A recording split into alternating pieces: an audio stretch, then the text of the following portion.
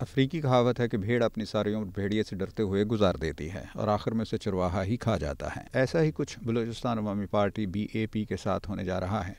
वैसे तो सियासत को मुमकिनात का खेल कहा जाता है, मगर पाकिस्तानी सियासत की चाल ढाल ही अलग है।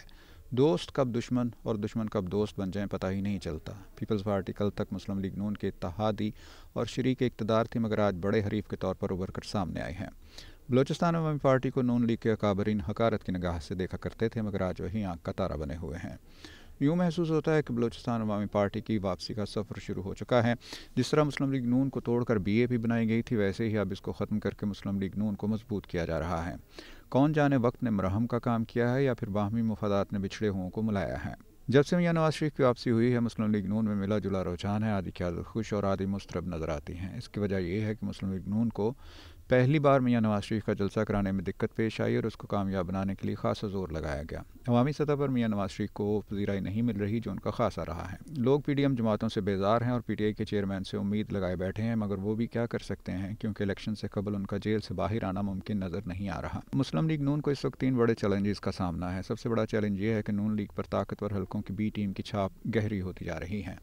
और अवाम इस तासर को पसंद नहीं कर रहे। जिस तरह मियाँ नवाज़ शरीफ की वापसी पर सरकारी सतह पर उनका इस्तकबाल किया गया और जिस तरह अब उन्हें रिलीफ मिल रहा है, उन, उससे साफ़ नज़र आता है कि उनके मामला तय हो चुके हैं, वो इस वक्त लाडले के मनसब पर फायज हैं। इस तासर को तकवीत उस वक्त मिलती है, जब मंजूर नज़र जमातें मुस्लिम लीग नून की इतिहादी बनती दिखाई देती हैं। एम क्यू एम और जी डी ए की एक तारीख रही है और उनके बारे में तासर है कि वो कभी भी इशारे के बगैर दाएँ बाएँ नहीं होती। उन्हें कहा जाता है कि पी टी आई के इतिहादी बन जाएँ तो उस तरफ़ चल पड़ती हैं और जब उन्हें इशारा किया जाता है कि हुकूमत से अलहदा हो जाएँ तो वो हुकूमत गिराने में कलीदी किरदार अदा करती हैं। अब उन्हें नून लीग के साथ जोड़ दिया गया है। ये दोनों जमातें एक बार फिर नून लीग के करीब आ चुकी हैं और बलोचिस्तान अवामी पार्टी के लोग जोक दर जोक मुस्लिम लीग नून में शमूलियत इख्तियार करते जा रहे हैं। कल तक मरीम नवाज़ कहा करती थी कि बाप अपने बाप से पूछे बिना कोई काम नहीं करती। ये लोटों की जमात है और लोटों की जगह वाशरूम में होती है। मगर किस्मत का फेर देखिए। अब इसी जमात के बानी और सबक वजी अला पंजाब जाम कमाल और उनके साथियों को मिलाने के लिए मियाँ नवाज़ शरीफ, मियाँ शहबाज शरीफ और मरीम नवाज़ खुद चलकर कोयटा गए। जाम कमाल और उनका ख़ानदान पार्टियाँ बदलने के लिए मशहूर है। ज़्यादा दूर मत चले, परवेज़ मुशरफ दौर में। जाम कमाल के वाले जाम यूसुफ काफ लीग की तरफ़ से बलोचिस्तान के वजी अला बने थे और जब काफ लीग पर बुरा वक्त आया तो जाम कमाल नून लीग में शामिल हो गए। वो मियाँ नवाज़ शरीफ और शाहिद खाकान अब्बासी की काबीना में वज़ीर भी रहे और जब नून लीग के इकतदार का चिराग बूझने लगा तो उन्होंने अपने साथियों के साथ मिलकर बलोचिस्तान में नून लीग की हुकूमत का तख्ता उलट दिया। इसी दौरान बलोचिस्तान में पार्टी बनाई गई और जाम कमाल इसके बानी सदर बन गए। सबको मालूम है कि ये जमात किस तरह बनाई गई थी और अब भी हर कोई जानता है कि कौन जाम कमाल और दूसरे बलोच रहनुमाओं को नून लीग की जानब धकेल रहा है। अगर कल को इस्तेहा में पाकिस्तान पार्टी और पी टी आई पार्लियामेंटेरियन के साथ भी मियाँ नवाज़ शरीफ इतिहाद कर लेते हैं तो फिर अगर मगर की कोई गुंजाइश भी वाकई नहीं रहेगी, क्योंकि ये दोनों जमातें भी मंजूर नज़र जमातों की फहरिस्त में शामिल हैं। दूसरा बड़ा मसला जो इस वक्त मुस्लिम लीग नून को दरपेश है, वो इस जमात का बयानिया है। पाकिस्तान की तारीख रही है कि यहाँ मुकदरा के हामी बयानी को अवामी सतह पर ज़्यादा पजीराई नहीं मिलती। और नून लीग इस वक्त यही बयान अपनाए हुए हैं। अगर मुस्लिम लीग नून को अवाम में मकबूलियत हासिल करनी है तो अपने बयानी में उसे तोदन पैदा करना होगा, वरना कश्ती भंवर में फंसी रहेगी और किनारे का रास्ता सुझाई नहीं देगा। इस ज़िम्न में मुस्लिम लीग नून के लिए एक बड़ा चैलेंज शहबाज हुकूमत के मुआशी मैदान में कारकर्दगी है।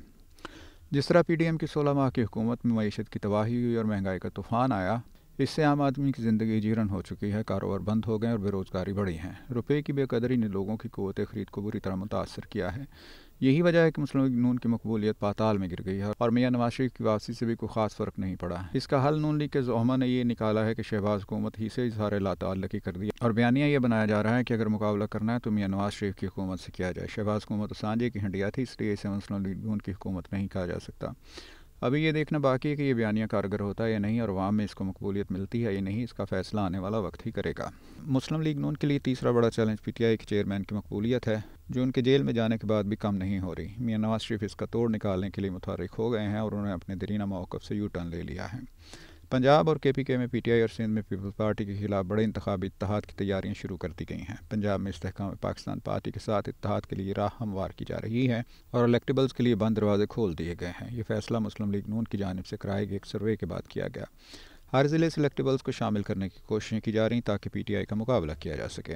खैबर पख्तूनख्वा में प्रवेश खटक की जमात J U I A N P और शेरप्रो ग्रुप के साथ मामला आगे बढ़ाए जा रहे हैं। खैबर पख्तूनख्वा इस वक्त पी टी आई का गढ़ तस्वर किया जाता है, इसलिए मुतबादल तमाम कुतों को इकट्ठा करने की सही की जा रही है। कराची में पीपल्स पार्टी और पी टी आई का तोड़ एम क्यू एम के साथ इतिहाद करके किया गया है, जबकि अंदरून सिंध में जी डी ए और कॉम्प्रस जमातों को यकजा होकर इलेक्शन लड़ने की ऑफ़र की गई है।